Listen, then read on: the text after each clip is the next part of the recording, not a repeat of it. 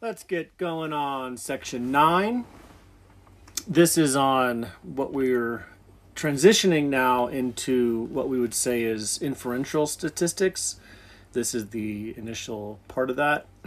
Uh, it has an important concept called the uh, central limit theorem, which we'll talk about not in this video, but the next one.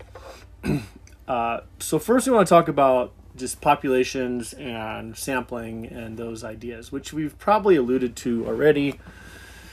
You might have a general feel of that. Uh, but now let's talk about that in a statistics, you know, way. As, what does that mean? So our um, section nine is, is a, a big section and then uh, uh, we'll go on to applying it. So inferential statistics. So what is what are we talking about? So the idea is that you have an entire population, and sometimes that population is very small, and you can you can work with it, and you can get data statistics from the entire population. Uh, in many cases, most cases, however you want to think of that, it you you can't you, you can't get uh, uh, the the actual mu right. You can't get the actual mean you can't get the actual standard deviation. Uh, you may or may not know whether the distribution is normal. Uh, most likely, in many cases, it is, but not necessarily. Uh, I might have mentioned, you might have heard me say on a video, uh, often on my exams, uh, they did not seem to be a normal distribution. They did not they don't cluster in the middle. They're very spread out, very polar. Uh, that's what I hear from a lot of my colleagues as well. Uh, if you have enough students, then it becomes in the middle. But the, the, the nature of the, the, community college and things like that, that's what we were, what I would see. Uh, so we want to talk about now we can't find the entire population. So you don't always have to think sampling people's opinions. That's what I think comes to mind because that's what you hear all the time. Everybody thinks this about the president or this about the former president or blah, blah, blah, or this is what we should do about um, different hot topics, right? But in statistics, a lot of statistics has nothing to do with people. Well, not nothing. I mean, it has to do with things and objects and and and how things work. Like engineering aspect of it, there is a, a lot of statistics going on to analyze things. So every time I give you an example, I'm always going to give you the you know the people one, what people think maybe, or how you know this number of people's you know heights or uh, left-handed, right-handed, you know, the kind of concept. But we're always going to get into, you know, the widget, you know, making widgets and things like that, and this in the sample of those widgets. So the impossibility of a population case uh, may come from sampling. You know, you're making millions of things, right? So um, I don't know, millions of little. Um, I can't think of something specific right now, of little. Um, uh, washers, right? Tiny little washers. And you can't look at all of them. That would be, it would be as difficult to make them, it would be to analyze them. So you sample them. And there's a lot of information, a lot of data behind those, that actual sampling of those, that information. Okay, so, um, so we'll talk about much of this stuff. The first part here I would say is heavily uh, read reading intensive. I will talk about it. I'll maybe try to tweak my videos a little bit so you see me talking more than me writing because I won't write as much. Uh, but let's get into the concept. So let's first talk about. Let's first have an idea, and let's let's use the washer analogy. Yeah, there's a company that makes, uh, let's say, you know, millions of, of little tiny washers um, uh, every every year, and you want to make sure that they are the right density, the right size, all of that, and it and it you want to do it in a in a very because you could you know make millions or lose millions of dollars. You want to make sure they're correct. Uh, this has to do a lot in um, when things have to be very precise what what what you do. And let's suppose that uh, you do a sample of them, okay, and and you can do this. This is considered large sampling, so you can sample thousands of, of the millions that they do, and you analyze a couple thousand of them. So there's a lot of uh, statistics behind or research and theorems behind those this what, what happens all right so first of all that sample needs to be random. So let me show you some of this stuff here. So good so let's write this down next. Okay. So this is a definition. I'm going to just erase this now. I just keep that so you don't start writing right away. So this is a definition of random sampling. So suppose and and I I like to change up a little bit what the book says into my own words uh, because I think they're better, and sometimes it's too wordy how they say it. Uh, but keep the same gist of it, of course. This is also a good place to to use uh, the AI stuff because it's very succinct and precise how they state stuff. So uh, I've been using that just to see what it says. And so this is a good place to do that. Um, just, just type it in. Um, you have the free app um, you can use now. Uh, and it's very simple uh, inquiries about it. But this is my definition.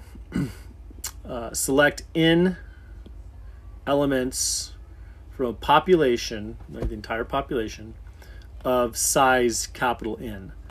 So again, lowercase, uppercase are different. So you're selecting n, little n from entire population of n. So suppose the entire population is a million, you're selecting maybe a thousand. Okay. If each selection has an equal chance or equal probability of being selected, then we say the sample of n elements was a random sample. So I wanted to we talk about randomness and all that, but that's really what it comes down to. The flipping a coin, we pretty much all can agree if it's a fair coin, it's not weighted on one side or another, uh, that that has an equal chance of getting a heads and a tails. Same thing as a, as a fair die. Uh, you can think of whatever. So that's the fundamental concept of a random sample the way I just described that or define that here, that is called a simple random sample. That so what I just described isn't always easy to do, frankly, a simple random sample, uh, because of clustering and stratifying of things, and uh, it's not not always easy to have a simple random sample. Uh, let me give you an example of one that I saw recently uh, at, at the college that, that wasn't a simple random sample, but it was a random sample. It was, uh, they, they have accreditation, you've probably heard of accreditation, and they wanted to look at the online classes. And they wanted to, so the creditors wanted to look at the Canvas shells of past uh, online classes and those past online classes were selected so there were 50 of them out of you know 300 400 i don't know how many we have exactly but but around there 500 or no. I forget exactly. Anyway it's, it's less than 2000 we have maybe a thousand classes 500 i have to look that up again. Anyway so a large number of online classes. They wanted to look at 50 selected at random. Now that may or may, depending on how they select them, that may or may not be a truly random sample. 50 theoretically is enough to analyze what what's going on. You can get a pretty good idea of, of what's going on if you, if you select 50. If it's down near 10 and it wasn't truly random, well, then you're going to get all kinds of skewed results, possibly. Uh, and you, you already are going to get skewed results this way because even if you select 50, you still could get um, a couple that were outliers, right? And it's always possible. Uh, but that's what they use to analyze the classes. They're looking for things like student to student contact, or looking at things like faculty engagement, and you know all that kind of stuff that's that's in the online situation, uh, which we are doing most of, by the way, in this class, especially for me making all these videos for you, and then you being able to talk to me. Anyway, that was one example. Um, and then they have all these different possibilities. And I'm not going to spend time on lectures talking about all these. So this is what I want you to read, look up, use internet, whatever, use the books. I wrote, I copied a few from the books. Uh, you have different I concept. You have stratified random sampling, involves selecting a simple random sample from each of the given subpopulations. So, so this is actually in education a good way to do it because you, you get a better feel for what's really going on. So you, you look at math and science. So this is actually, this is what doesn't happen often when you look at random sampling. They look at most students uh, like online classes, apparently, is what they sample, but they're not looking at Calc 1, Calc 2, Calc 3, Calc 4, and they're not looking at learning, by the way, either. Uh, but they're not looking at those specifics. So what you might do to get a better feel of what's going on in your organization, your situation, is you look at well, let's let's analyze uh, math, and then the rest of science, and then we'll look at the social sciences. You don't you don't have to separate sociology and psychology. That's going to be pretty much the same same group of type of people that are taking those classes. the courses are run pretty much the same uh, so you might cluster what you want to look at, and then within those clusters, you do simple random sampling. Uh, but you also want to get a certain number of night classes versus day classes, and so you cluster those as well. So that's what we mean by clustering, and in and uh, well, that's the def- next one for for cluster. I'll get to that. Um, so that's clustering. So so that that idea, that general concept that I just described, is still true a simple random sample of cluster uh, from the available cluster in the population. Okay, so the way they're defining these is eh, I'm not going to be picky about any of that. It's very loose of how things are defined at this level. That talking about that. This is more research design and getting a good research um, result. And that isn't specifically this class. It's very introductory in this class. We're focused more on the math and, the, and how things are calculated and, and what they mean after the calculation. Uh, so look at um, look at these, read about those. One in K, systematic random sample involves a random selection of one of the first K elements in ordered population, then the systematic selection of every kth element thereafter. So that's very convoluted. You have one, here, let me change this. What all this means is you're just you're just doing this is um, you know every 10 person basically.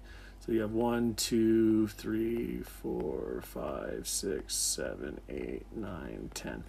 This is like an ordered situation, and then you are selecting every odd.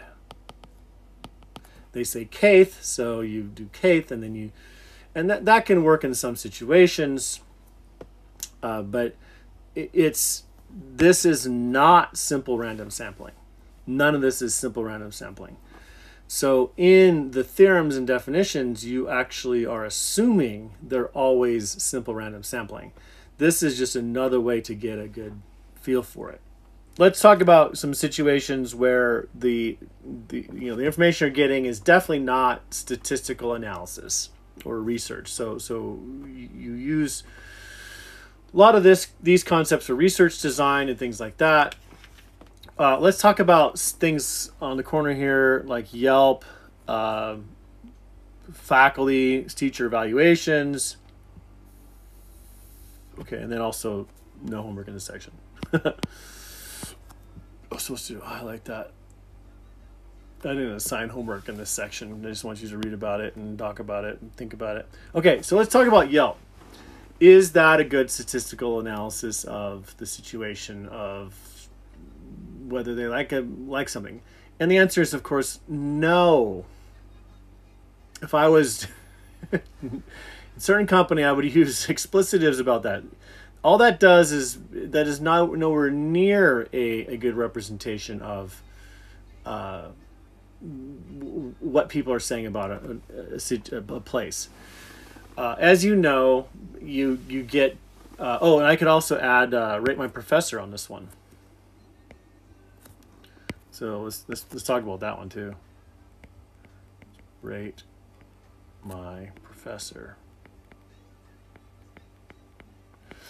So Yelp and Rate My Professor and and actually faculty evaluations. faculty evaluations aren't as bad, but it's it's very similar in that you have the initiative to go out and do something, and then you analyze. So uh, for Yelp, same thing. You have to go online and do something. You're not getting a random sample of of each person that used that uh, restaurant or something.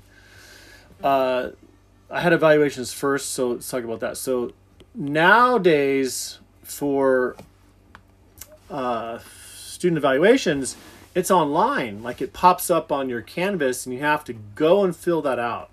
Well, you're only going to get those who want to fill it out, and it's either usually you know good or bad, just kind of like Yelp. Uh, that doesn't give you a good indication of what's what's going on. Uh, with it completely online, like they send you an email and you had to go fill it out, those were horrible. For a class of 40, 30, 30 to 40, we'd get like two or three, maybe maybe five evaluations. It means nothing for what I want to know as a teacher or an evaluator.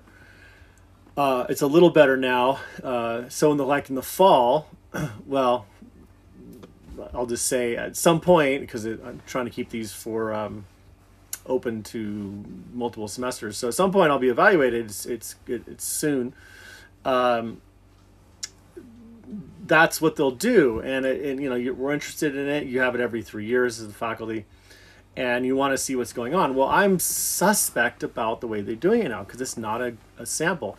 It, it's it's not. It used to be basically the entire population minus a couple because you would give it in class, and then you'd get the entire class and and those were those were pretty good. Like, I had good I- input on those, which is important to me. Uh, rate my professors the same way. You, it's just like Yelp. You get the good and bad. Um, basically, for rate my professor, the professors that are easy get great evaluations. I mean, that's it's it's been studied, it's been analyzed. Doesn't mean you can learn anything.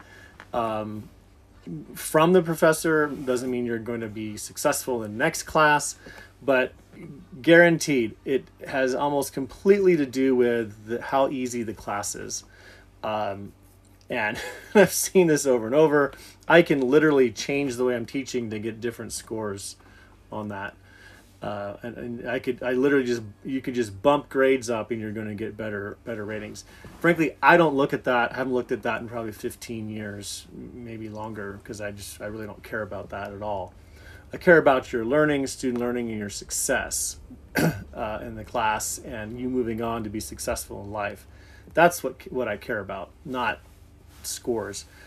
Uh, I care about those who respond back to me and say, "Hey, this was a great class. I enjoyed your, I learned a lot, enjoyed your teaching, and um, look what I'm doing now." That's how I rate how I'm doing, not something like that.